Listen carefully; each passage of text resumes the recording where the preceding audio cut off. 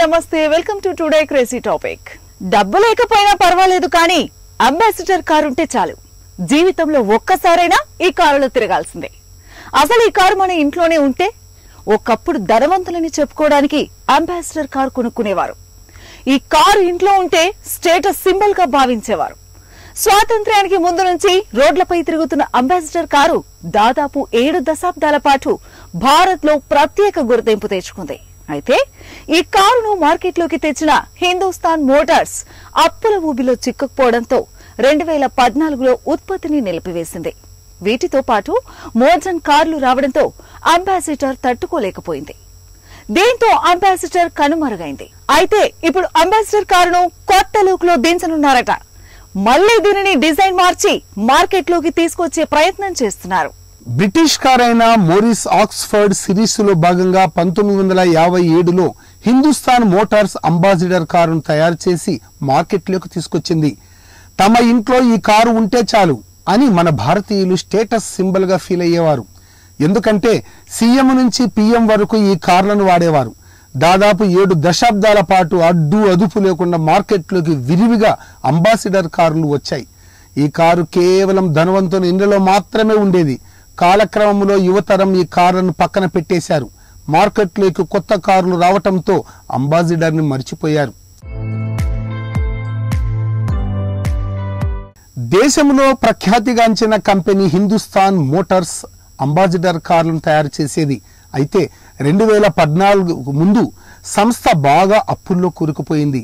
వీటితో పాటు ఈ కార్లకు డిమాండ్ తగ్గిపోవడంతో రెండు వేల పద్నాలుగులో ఈ సంస్థ ఓనర్ బిర్లా గ్రూప్ ఉత్పత్తిని నిలిపివేసింది.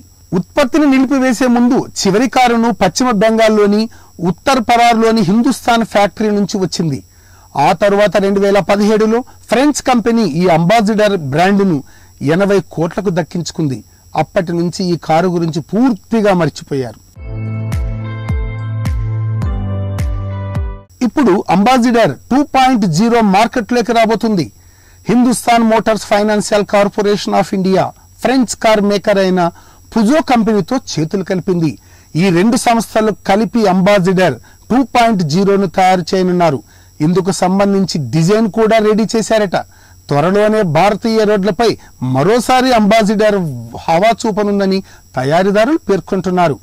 కొత్త లుక్ను బయటకు తీసుకొచ్చేందుకు తీవ్రంగా కృషి చేస్తున్నామని హిందుస్థాన్ మోటార్స్ డైరెక్టర్ ఉత్తమ్ బోస్ అన్నారు.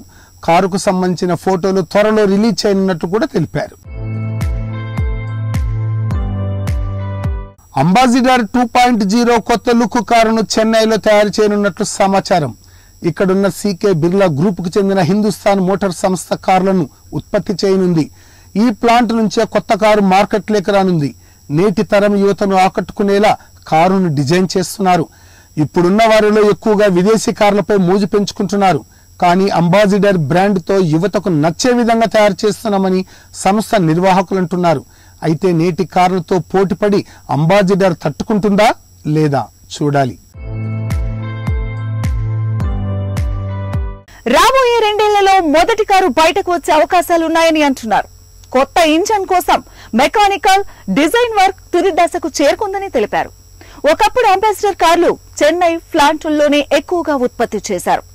ఇప్పుడు కూడా చెన్నై ప్లాంట్ నే ప్రధాన కేంద్రంగా ఉంచనున్నారు. ఇక్కడి నుంచే దేశవ్యాప్తంగా కార్లు సరఫరా కానున్నాయి. దీంతో కొత్త అంబాసిడర్ ఎలా ఉంటుందోనని యువత కార్లు ప్రియులు ఆసక్తిగా ఎదురు చూస్తున్నారు నవతరం కార్లతో కొత్త అంబాసిడర్ పోటీ పడుతుందా లేదా అన్నది చూడాలి. ఇదే వరల్డ్ క్రేజీ టాపిక్. మరొక ఇంట్రెస్టింగ్ టాపిక్తో మళ్ళీ కలుద్దాం. Until then keep watching